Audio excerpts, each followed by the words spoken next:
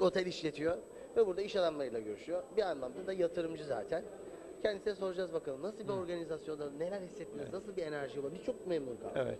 Biz bugün e, Türkiye Odalar Borsa Birliği Sayın Rıfat Selçuklu'nun yaptığı bir organizasyona bütün oda 365 oda başkanı ile birlikte katıldık.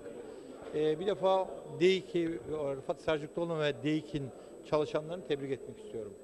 Çok mükemmel bir organizasyon.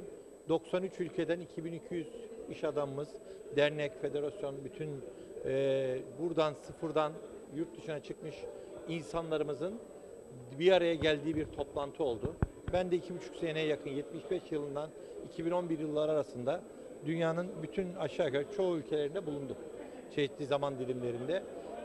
Bizim Türklerin böyle bir organizasyona ihtiyacı var. Çünkü bu işin de başında devlet olması hele çok daha farklı bir şey kıldı burada.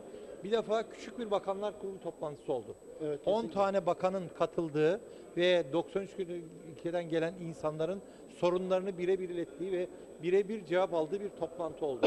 Onun için böyle bir toplantıya e, katıldığımdan dolayı ben de çok mutluyum. Ben de dersimi aldım. Karadeniz bölgesine gittiğimde, Ünye'ye gittiğimde inşallah bunların benzerini Karadeniz bölgesinde de yaparız diye düşünüyorum. Başkanım ne tavsiye ediyorsunuz? Ünye yani mesela insanlar neden Ünye'ye gelsinler? Ünye'de ne iş yapabilirler? Yani Ha, bu ba- Şimdi, bağlamda. şimdi Karadeniz'de biz Ünye'de yeni bir organize sanayi kuruyoruz.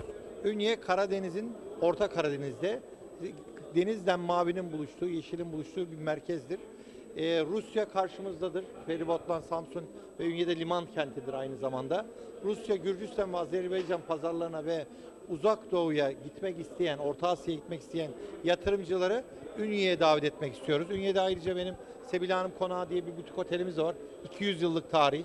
200 yıllık, 200 yıllık bir binayı restore ettik ve yöresel yemekleriyle balık yemek isteyen, gezmek isteyen, yöresel yemek isteyen, e, natürel, organik yemek yiyip yeşille maviyi tatmak isteyen herkesi Karadeniz bölgesine özellikle davet ediyoruz, bekliyoruz ve yatırımcılarımız da ayrıyeten oralara gelirlerse biz de Ünye Ticaret ve Sanayi Odası olarak elimizden gelen her şeyi yapacağımızın burada sizler vasıtasıyla sözünü veriyorum. Biz de en kısa zamanda Vekilim TV olarak Ünye'ye yanınıza geliyoruz inşallah. Orayı tanıtıyoruz. Oldu mu? Memnun oldum. Hürmetler.